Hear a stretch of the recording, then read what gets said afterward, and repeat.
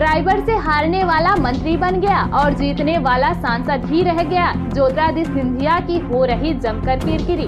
बता दें, मोदी सरकार के दूसरे कार्यकाल का पहला विस्तार हो गया है। नरेंद्र मोदी के कैबिनेट टीम में कई बड़े बदलाव किए गए हैं। इस बार मंत्रिमंडल में कई युवा चेहरों और महिलाओं और पिछड़े वर्ग के लोगों को जगह मिली है। वहीं कई अहम चेहरे को कैबिनेट से बाहर का रास्ता भी दिखाया गया है। पिछले साल कांग्रेस से बीजेपी में शामिल हुए राज्यसभा सांसद ज्योतिरादित्य सिंधिया को उड्डयन मंत्रालय का जिम्मा दिया गया है। बता दें कि 2019 के लोकसभा चुनाव में ज्योतिरादित्य सिंधिया को अपनी परंपरागत सीट गुना से हार का सामना करना पड़ा था, जबकि उस समय मध्य प्रदेश में कांग्रेस सरकार सत्ता पर काबिज थी।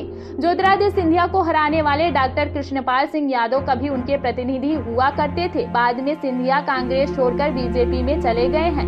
ऐसे में अब लोग सोशल मीडिया पर ज्योतिरादित्य सिंधिया को ट्रोल कर रहे हैं।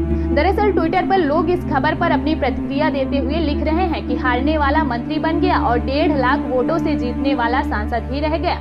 एक ट्विटर यूज़र ने कमेंट करते हुए लिखा कि क्या विडम्बना है? डेढ़ लाख वोटों से हारने वाला आज कैबिनेट मंत्री बन गया है और जीतने वाला डॉक्टर के पी यादव जीत कर भी हार गया। एक यूज़र ने कमेंट किया है कि ड्राइवर से हारने वाला मंत्री बन गया और जीतने वाला सांसद भी रह गया।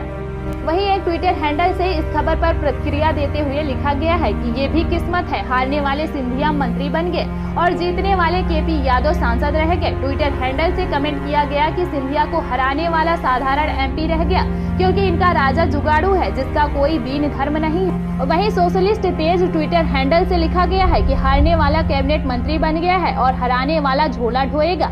जब तक आप इस रहस्य को नहीं समझिएगा, तब तक चंद लोभ लालच के चक्कर में झोला ही ढोइएगा गौरतलब है, ड्राइवर से हारने वाला मंत्री बन गया और जीतने वाला सांसद ही रह गया।